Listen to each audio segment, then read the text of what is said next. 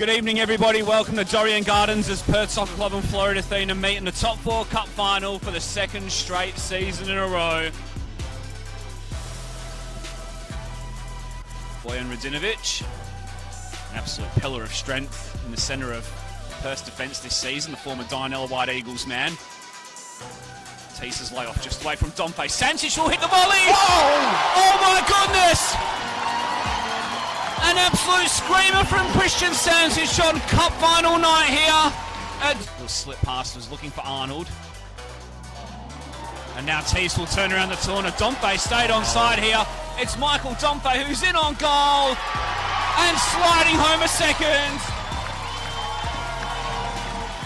He's led the line superbly for the Azzurri this season for the majority of the campaign all on his own intermittent injuries as well. He's back on the bench this evening, mind. Ludo Boy scored the fourth goal in last season's final here.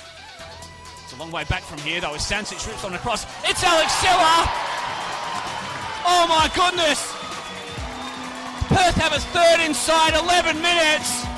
And if this is the send off that Ramon Falzone's going to have, it's only going to get better and better.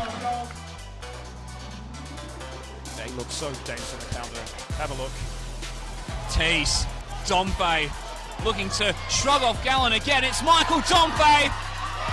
Dompe makes it four. This is unreal. You just don't see this in finals.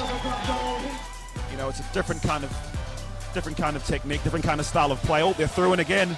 Perth are on again here. It's Whitney driving into the area. It's Calvin Whitney cutting onto the right. The strike at goal. It's five.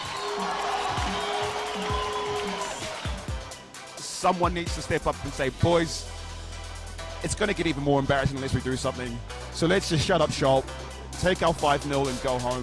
Santa Lucia's cross. Ambrosio tries to bring down, goes to ground. And Stephen Gregory's pointed to the penalty spot here.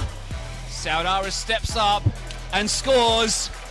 The defender's got 10 for the season. And a possible captain's goal, which may give Floreat a bit of a footing in the game. It's Perth 5, Floreat 1. Yeah, Will Gordon got the goal that day. Floreat trying to put together a move here. It's McManus driving into the area. The cut back across goal, and it's headed into the back post from Nick Ambrosio, who scores in a top four cup final for a second straight year. Player who got things going early on, bit into the tackle, showed that little bit of play on the ball. To get Perth going the right way. Another one back for Floreat here. They're not going to do it, are they? From the set piece. Stafford's throwing to Tease. Ball poked forward for Sancic who crosses in. DeLeo's arriving! Perth have a half dozen! And it's the club captain who arrives on the scene! Bird. Sancic full time. A fine finish for Ramon Falzone as head coach of Perth Soccer Club.